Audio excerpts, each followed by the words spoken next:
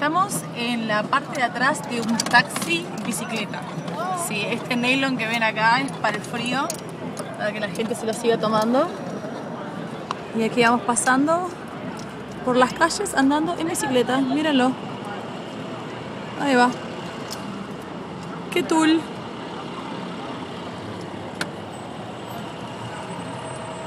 La solución a la contaminación.